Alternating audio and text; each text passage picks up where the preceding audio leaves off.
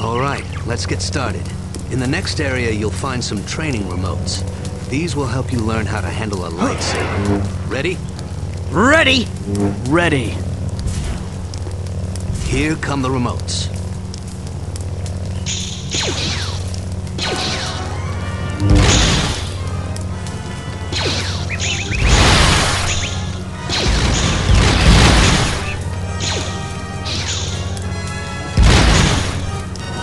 Done! Nice work, Rosh.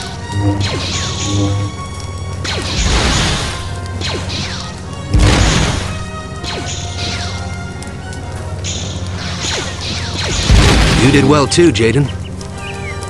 Your lightsaber is an invaluable tool. Even when inactive, it can defuse a potentially volatile situation.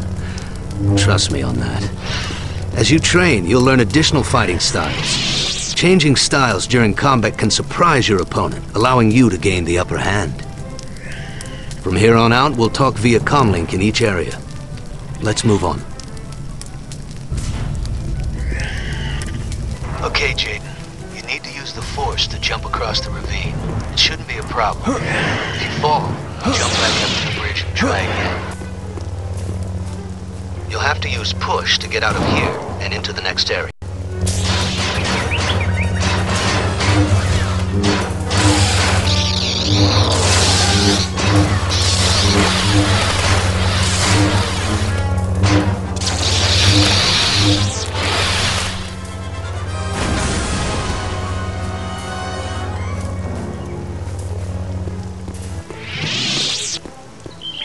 took you so long, Jaden?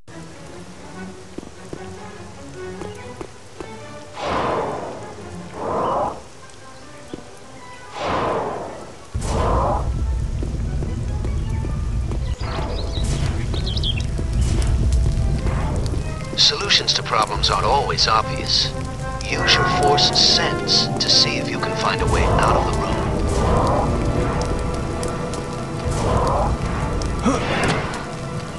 You're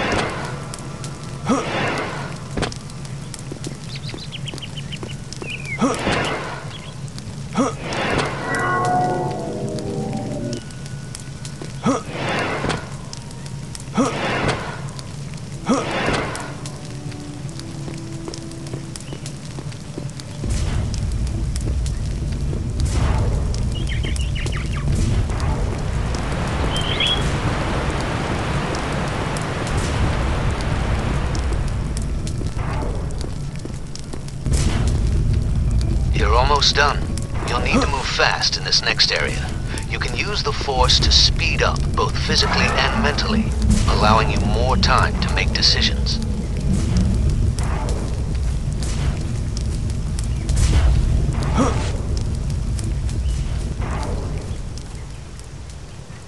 So, did I win? It wasn't a competition.